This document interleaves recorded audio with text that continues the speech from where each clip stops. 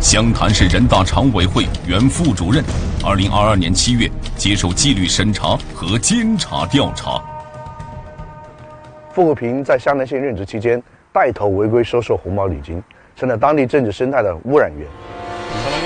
由于收受的礼品礼金太多，傅国平专门在乡下老家建了一栋房子，用于存放赃款赃物。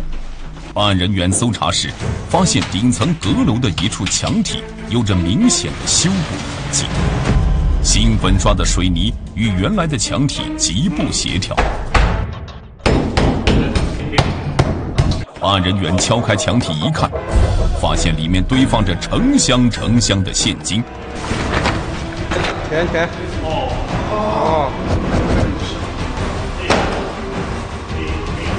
这些现金。银行工作人员用五台点钞机连续清点了五个小时，最后经核实，共计人民币一千二百余万元。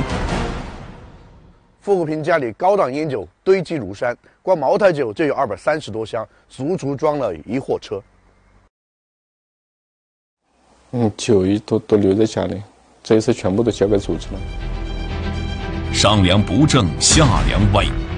湘潭县多名班子成员由风及负，从破纪走向破法。县政协原主席刘铁强、县委原副书记周贤、县委原常委、县委办原主任唐征耀先后被查处，传达一种不良的风气，像在当地造成了非常不好的影响。傅国平在忏悔书中写道：“今天的结局是我第一次犯错时就注定了。当我第一次插手工程项目时，那违法的事实就不可更改；当我第一次收受贿赂时，那犯罪的证据就不会消灭。”经查，傅国平违反多项党的纪律。除大肆收受红包礼金外，还涉嫌受贿七百余万元。二零二三年一月，傅国平被开除党籍和公职，其涉嫌犯罪问题被移送检察机关依法审查起诉。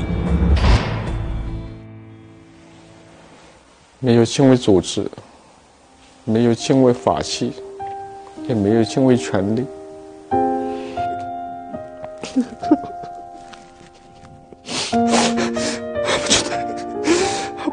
杜长生现在那个字见的